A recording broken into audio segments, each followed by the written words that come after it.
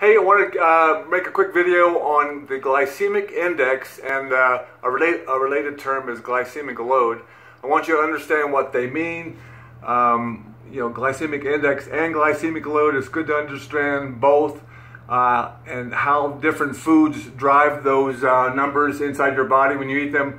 Um, it's kind of an elementary subject. You probably know something about it, but again, I want to make sure you kind of have it uh, wired and understood really well because as we get into other stuff talking about, you know, fat loss and, and energy and, and what you should and shouldn't eat uh, and why, this is kind of a foundational stuff to understand. So let me start on my high-tech uh, whiteboard here and just draw a little graph uh, to give you an idea of what we're talking about. So if I, if I have a, you know, time to the right and uh, glycemic index going up this axis, uh, and we'll put like a we'll put a hundred here.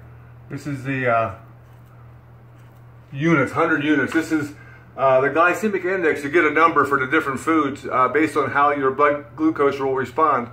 Uh, 100 is for pure uh, glucose. I mean, so that's um, at the top is 100, and then other foods would be in there. And actually, there's some uh, actually will be even greater than 100. Some sometimes you'll see uh, uh, wheat products and different uh, grain products being 105 and things like that. But so uh, so it's it's basically it rates everything uh, as how quickly it would it would raise your blood sugar with respect to glucose, you know, pure glucose. So if you eat a food, let's say you're you're down here at the at rest. Um, and really, the, a rest, a rest, if I could just draw like this narrow band, these are different units down here, but between 70 and 80, it's milligrams per deciliter. Milligrams per deciliter. Your normal, you know, a healthy individual normally wants to stay within about 70 to 80 milligrams per deciliter of glucose concentration in your blood. If everything's working correctly, your body wants to keep that very narrow band. It likes, it likes a little bit, it doesn't like too much. It doesn't like too little. Um, obviously, glucose is an energy source. You need it for all types of cellular activity. Uh, and your body sort of wants to uh, control it very, very narrowly and accurately. And if everything's working well, this is what it does. But if you eat a food, a carbohydrate that's going to uh, temporarily raise your glucose, you'll get you'll get like a, a spike. It'll go up, and it'll come down. And if, you know, and if everything's working well in your system, it'll go up and it'll come back down and back into that narrow range between 70 and 80 uh, micrograms per deciliter.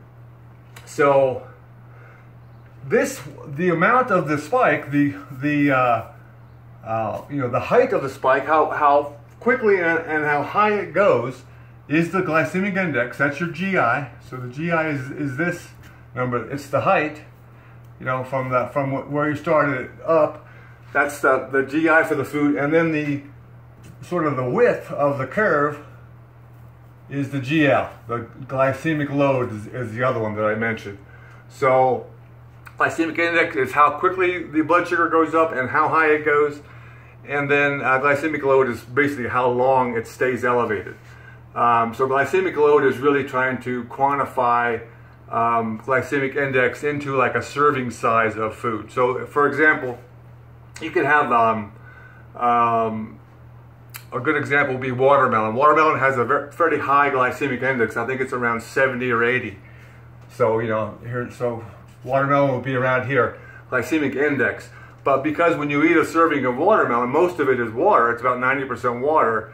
Uh, if whatever a serving size is, you know, 100 grams or something, uh, most of what you've just eaten, eaten is uh, water. It's not the carbohydrate that uh, that drives the the you know the um, glucose response. So it would have a very low glycemic load, something like four or five.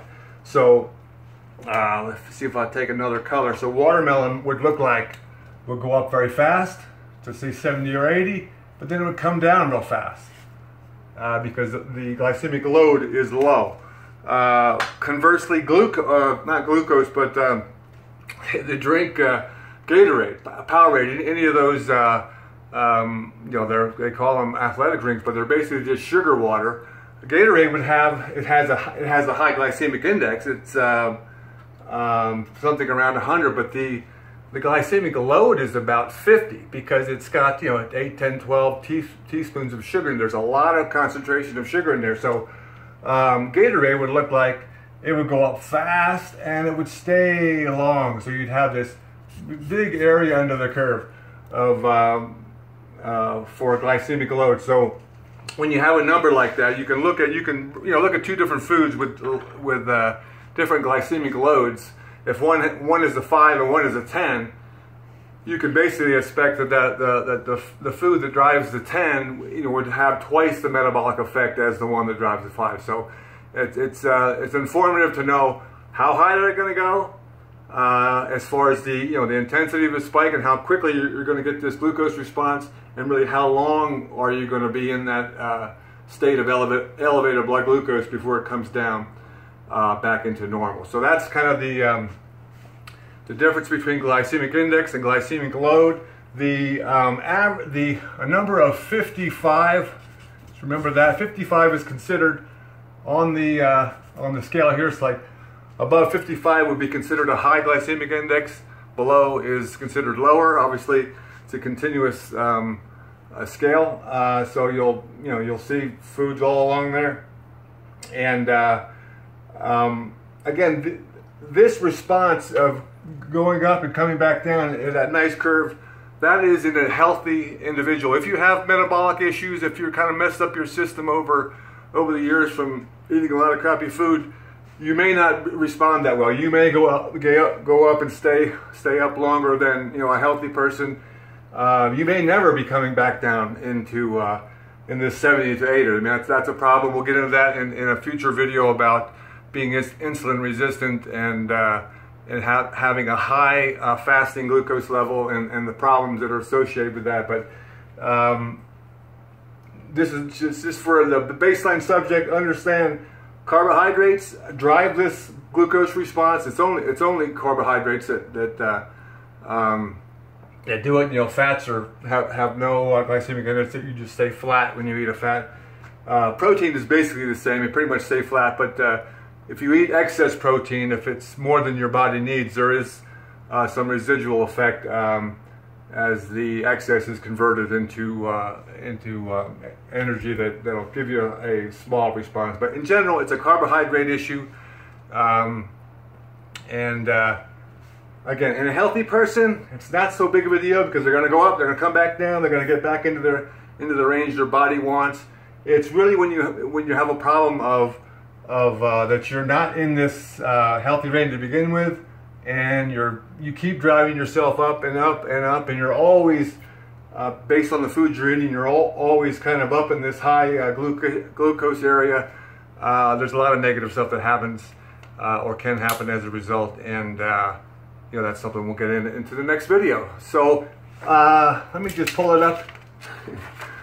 Pull the white bar if the graphs make sense basically glycemic index is how fast uh, you're going to rise up when you eat a carbohydrate. So it's, it's uh, sort of the height of the spike is the glycemic index number, and then the load is really how long it stays elevated before you get back back down uh, into that normal range. Uh, you can use both of those numbers to try to you know sort of compare foods and understand um, you know what's going to happen when you eat them. And uh, 55 is kind of the sort of the number. Above 55 would, would be considered a high GI food. Below is considered low. There you have it.